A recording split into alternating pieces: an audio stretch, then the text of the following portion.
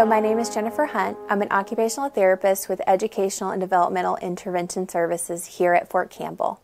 Have you ever wondered what your toddler should be doing developmentally during meal times or how to help them learn?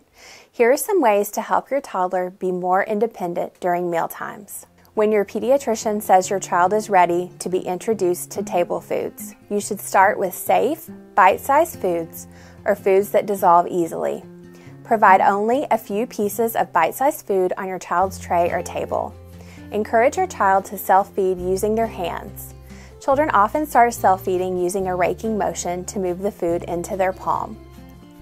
Over time, they will progress to picking food up using their thumb and index finger.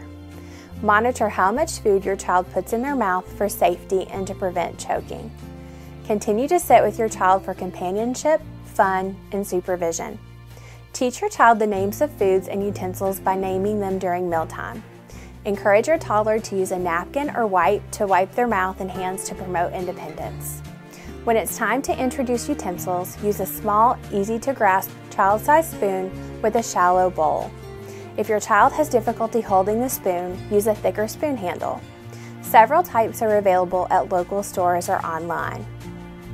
Let your child choose which hand to hold the spoon in unless they show a strong preference or have better use of one hand. Place the spoon between your child's thumb and fingers with their little finger resting on the table. At first, use foods that stick to the spoon to encourage success. Mashed potatoes, pudding, oatmeal, and yogurt are some examples. Show your child how to keep their palm up to prevent foods from spilling off the spoon. When introducing the fork, choose bite sized foods that are easy to pierce. Mastering utensils will happen over time. Give your child plenty of opportunities to practice and encouragement to keep trying.